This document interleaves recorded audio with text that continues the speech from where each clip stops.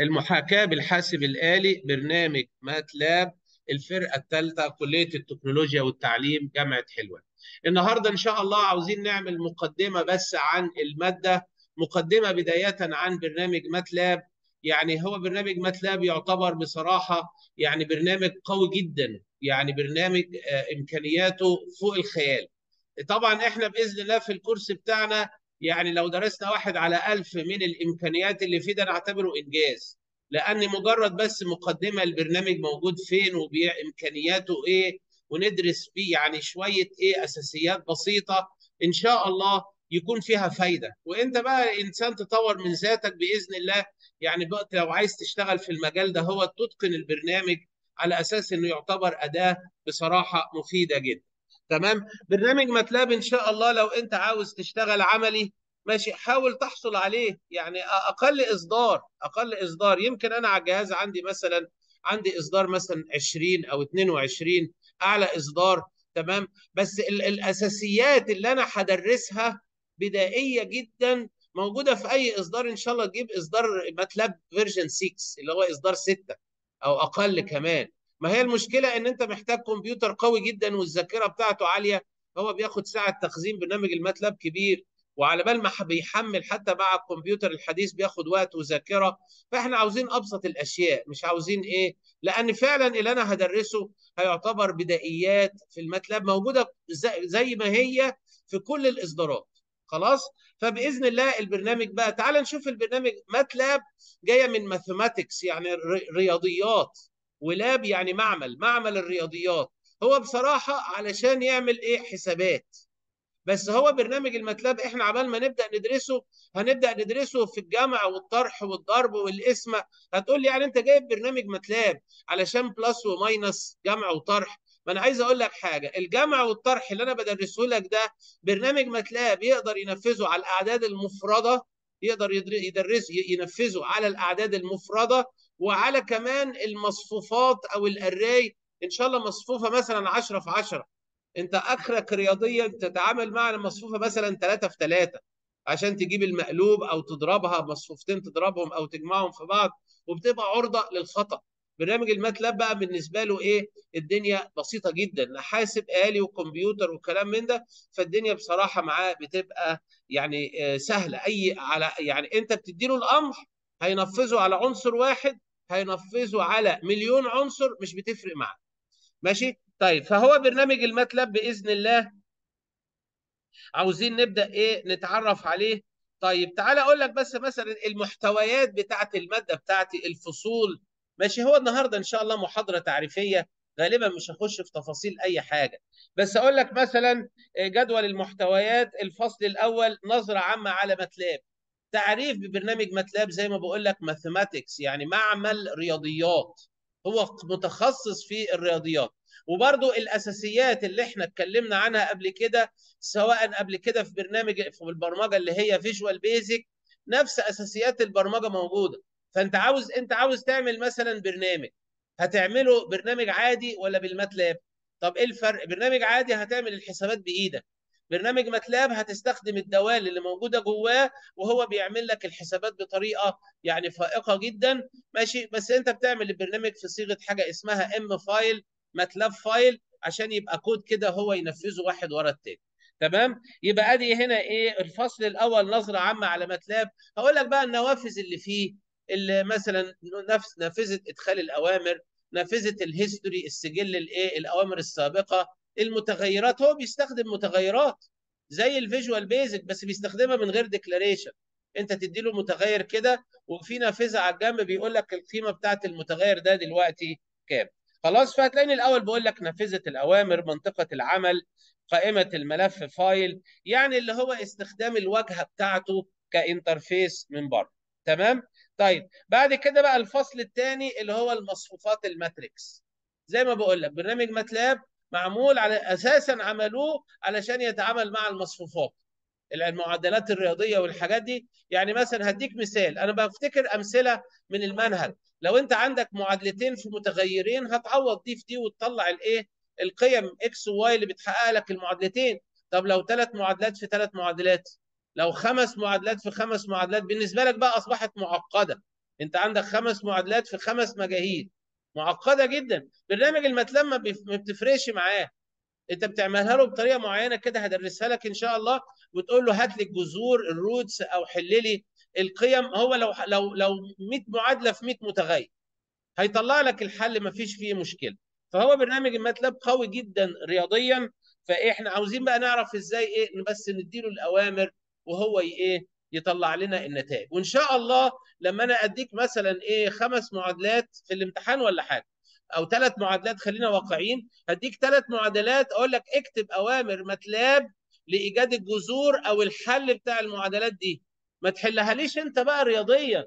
أنا عايزك تكتب لي أمر اثنين ثلاثة تكتبه مع الكمبيوتر إزاي ويطلع الناتج إزاي بس أنا مش عايزك تحلهم رياضيا لأن أنا عاوز أطوع الكمبيوتر إن هو يحل معايا. تمام؟ يبقى ضرب مصفوفة قسمة مصفوفة كل الحاجات ده هي بتبقى صعبة لو أنت رياضيا لكن على ال MATLAB بتبقى الأمور إيه سهلة جدا. بعد كده بقى الفصل الثالث اللي هو M-file ال M-file بيخليني أستخدم ال MATLAB أكنه لغة برمجة.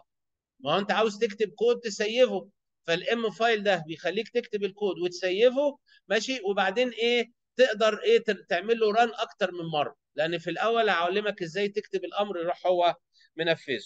يبقى ادي الأمر M-file علشان يقلب معانا برمجة. هتلاقي بقى لما أنا أفتح لك ال M-file هدرس لك ال if then else اللي أنت مذاكرها قبل كده في سنة ثانية هدرس لك ال while وال for اللي هي الحلقات التكرارية.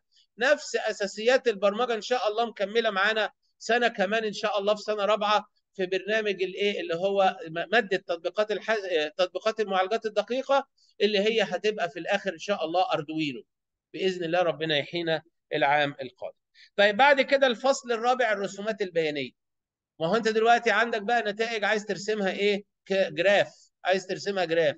فبدل ما تجيب بقى ورقة وإيه وتقعد تحط نقاط وتوصل ما بينها برنامج MATLAB أنت لو عندك البيانات هو يرسمها لك graph ثنائي الأبعاد أو حتى ثلاثي الأبعاد وتغير بقى ال scale مقياس الرسم وألوان ويحط لك كذا منحنى على نفس الرسمة طيب أنا عايز أعلمك الأوامر اللي تعمل بيها منحنيات.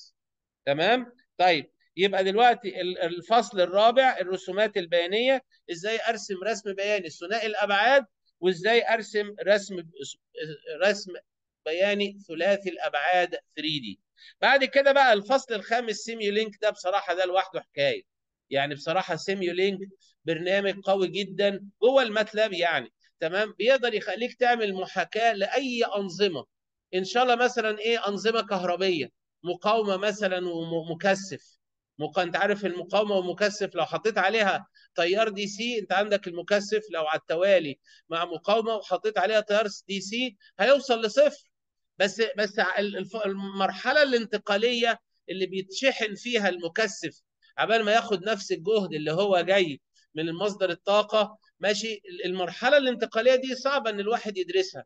برنامج Simulink بيعمل لك محاكاة للمرحلة الانتقالية وبيجيبها لك ويرسمها لك curve والكلام من برنامج Simulink بيجيب لك بقى block يعني ممكن تجيب بيه block يعمل تفاضل block يعمل تكامل. أنت عندك مثلا sine و cosine تجمعهم على بعض وتدخلهم على إيه integration ولا differentiation تمام؟ ممكن يعمل محاكاة لانظمه إرسال وأنظمة استقبال. تمام؟ فبرنامج Simulink آخر حاجة في برنامج Simulink في المذكرة إن شاء الله وأنا عايزها تعتبر بالنسبة لك بداية. بإذن الله ربنا يوفقك وتجيبوا درجات عالية في المادة بس مهم تتعلم يعني وتعتبرها بداية إن أنت تقدر إيه تطور من نفسك وتتعلم عليها تزود عليها تمام؟ فبرنامج بعد كده آخر حاجة موجودة في المذكرة اللي هو إن أنا إزاي أعمل interface أو اتصال ما بين ال Simulink وال Arduino. انت عارف ال Arduino دي board تقدر تحط عليها برامج وتنفذها لوحدها. البرنامج ال Arduino بيشتغل لوحده. بيستخدم بقى ال Arduino في التحكم مثلا في أنظمة الإنذار مثلا أنظمة التكييف. أقل حاجة الأسانسير المصعد يعني. وال Arduino الدخل جوه الدخل بيبقى على sensors الدخل من خلال sensors وال output بيبقى على relay relay يعني مرحل اللي هو عشان يتحكم فيه موتور أو حاجة بهذا الشكل. فآخر حاجة بقى برنامج ال Simulink بقدر أعمل بيه محاكاة لل Arduino واقدر أعمل بيه اتصال ما بينه وما بين الأردوينو واقدر أعمل دراسة للبرمجيات بهذا الشكل. خلاص؟ فهو ده كده بقى إن شاء الله برنامج إيه؟ الماتلاب اللي هو يعتبر جزء منه يعني شوية منفصل أسلوب دراسة وأسلوب تعامل منفصل اللي هو برنامج السيميوليت خلاص؟ وزي ما بقول لكم يعني إحنا من أولنا لأخرنا بندرس قشور القشور في البرنامج. على أساس بس المادة ما تبقاش معقدة عليك تبقى إيه؟ مقدمة خلاص؟ وبإذن الله أنت تقدر تبني عليها ماشي؟ أنا عاوزك تبني مهارات البرمجة. مهارات البرمجة بتبدأ في سنة ثانية مع الفيجوال بيزك تتطور شوية مع الماتلاب تتطور أكتر بإذن الله في تطبيقات المعالج الدقيق اللي هي هتبقى أردوينو ولأن كل ده برمجة أكواد وكلام من فبإذن الله تبقى المادة إيه؟ ميسرة. عندك في آخر المذكرة بقى إيه؟ تمارين الفصل الأول لغاية تمارين الفصل الخامس. حاطط لك برضو إيه؟ امتحانات سابقة عشان تعرف امتحاناتي والدنيا معايا عاملة إزاي والمراجع بقى اللي هي إيه؟ أخدت منها المذكرة ده فأنا كده الحمد لله يعني بدأت لك مجرد مجرد أنا النهارده قريت قريت جدول المحتويات. بإذن الله بقى المحاضرة القادمة بإذن الله. هبدأ على طول الفصل الأول اللي هو نظرة عامة على الماتلاب تمام؟ علشان إيه؟ يعني نبدأ نشتغل ونبدأ ندرس كل كبيرة وصغيرة في المذكرة لعل فيها فايدة ونفع بإذن الله. فربنا يوفقكم بإذن الله وعام موفق سعيد والنجاح والتفوق وتبص لقدام. أهم حاجة تشوف هتستفاد إيه من المادة الدراسية اللي أنت إيه بتدرسها. أهم حاجة وربنا المستعان بإذن الله لو أنت اندمجت في المادة وتقبلتها وتعمقت فيها خلاص بقى يبقى النجاح ده بإذن الله والدرجات العالية ده بإذن الله يعني شيء مستحق ليك بإذن الله لكن أنت بس شوف هتتعلم إيه. تمام؟ ربنا يوفقكم بإذن الله ونلتقي في المحاضرة القادمة. شكرا جزيلا والسلام عليكم ورحمة الله وبركاته.